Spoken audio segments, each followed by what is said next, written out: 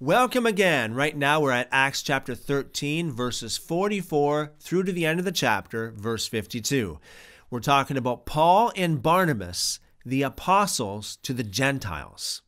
Verse 44 The next Sabbath, almost the whole city was gathered together to hear the word of God. But when the Jews saw the multitudes, they were filled with jealousy and contradicted the things which were spoken by Paul and blasphemed. Obviously, this is talking about the Sabbath as the Jews know it. This is the seventh day. This is Saturday. Okay? They didn't meet on Sunday, they met on Saturday as the Sabbath because Saturday is the Sabbath. And so now the Jews were getting quite perturbed, okay? We got Paul and Barnabas, and now they're turning to the Gentiles, and now they're preaching to the Gentiles. What's up with this? Paul and Barnabas spoke out boldly and said, it was necessary that God's word should be spoken to you first, since indeed you thrust it from yourselves and judge yourselves unworthy of eternal life. Ooh, that is harsh, okay? That is a very condemning word. Behold, we turn to the Gentiles.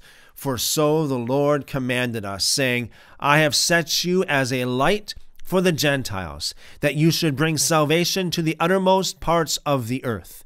That is found in Isaiah chapter 49, verse 6.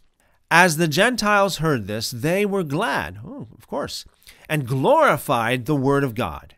As many as were appointed to eternal life believed. Notice it says here, as many as were appointed to eternal life believed. So we got those whom God aforeplanned, appointed to have eternal life. Those ones believed. The ones that God didn't appoint did not believe. That's clear here. That's clear. Verse 49 The Lord's word was spread abroad throughout all the region.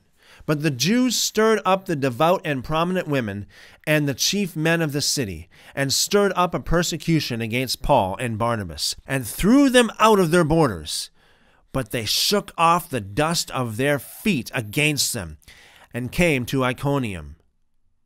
The disciples were filled with joy and with the Holy Spirit. I mean, Paul and Barnabas weren't very nice, were they? I mean, listen, can you imagine?